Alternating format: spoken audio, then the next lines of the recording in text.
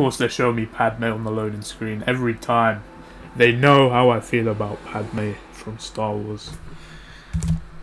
Man.